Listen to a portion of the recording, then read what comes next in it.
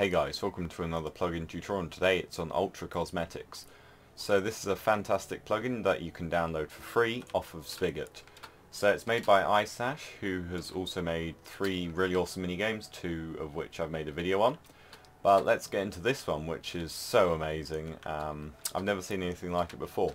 So you could use this in your hub, that's probably the best place to use it. And basically players get this chest. If you give them permissions they can get pets, particle effects, gadgets, mounts and even morphs. So let's go through these.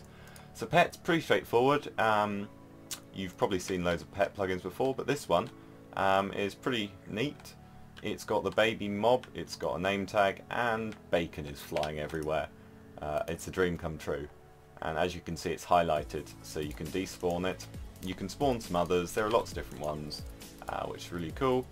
Kitty, and obviously uh, fish is going everywhere. Easter Bunny. So yeah, very, very nice. Let's move on to the particle effects, which is um, really cool. So rain cloud, this is my favourite.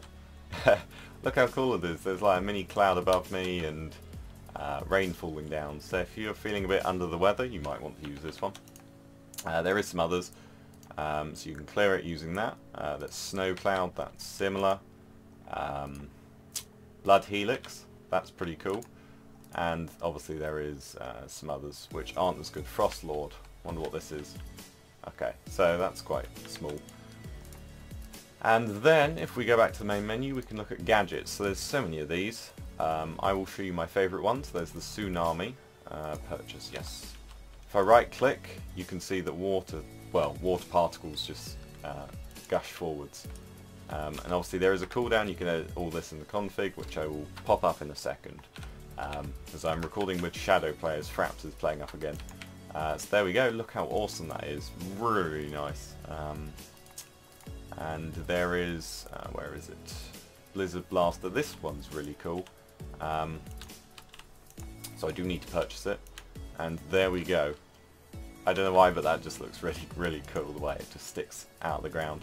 Um, there is the paintball gun. You may recognize this from his paintball plugin.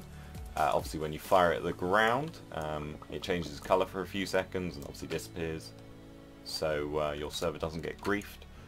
And yeah, there's loads more which uh, you can check out yourself. Um, make sure you give players permission um, for the ones they want. So you could give some to donators and whatnot. wow, look at that. That's amazing probably one of the best plugins I've covered lately. Um, mount, so this is really cool.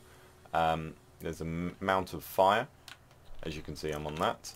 Uh, that's alright, and as you can see the trail disappears, so that's good. There were some really really cool ones. The Infernal Horror, this is pretty cool.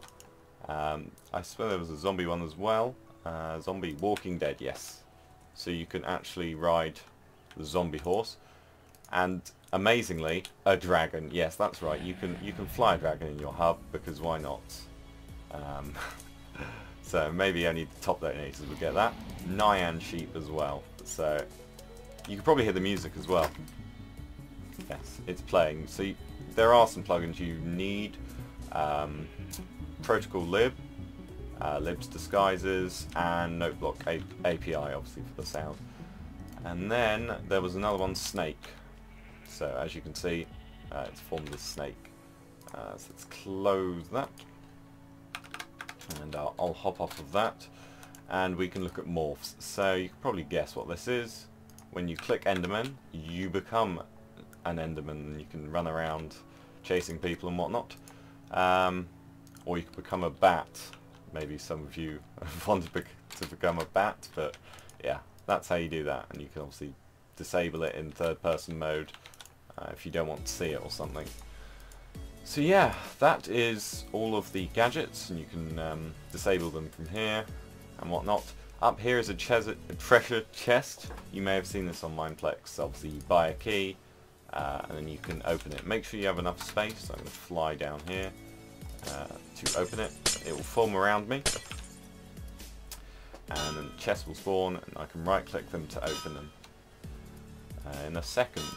So as you can see I got 34 portal gun ammo, um, $70, some melons, and 60 black hole ammo. So here is the config file. As you can see, you can enable and disable various things. You can edit the cooldown. But up at the top, you can enable treasure chests. Uh, you can change the price of the key.